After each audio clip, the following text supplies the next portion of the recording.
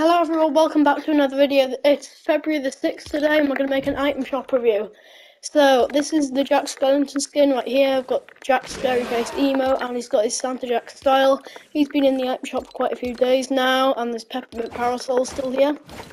Jack's glider is also still here and if we move down we can see the birds of a feather bundle.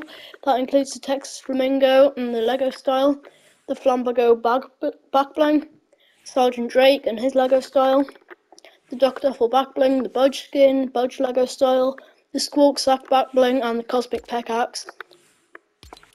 This is Wavy Warrior. She's got like a lot of different styles here, as you can see, and if she's really customizable can you, because you can color all of them. And there's really specific colors as well. You can also go to color too, but for some reason it's not letting me do that at the moment. There's also uh, Sunburst Dawn, Swirl Girl and Die Breeze. You can all customise them as well and put different patterns on them. Anthea.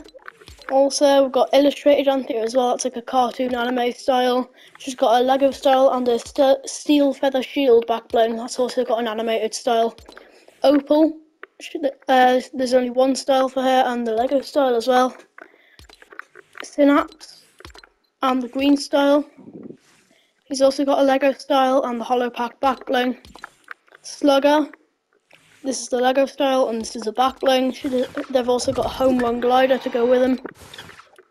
Uh, and that's it for today's item shop, apart from all the jam tracks and the bundles and things. It's been quite a short one today, but there's not been much new in it, so I'll see you all in the next one. Bye.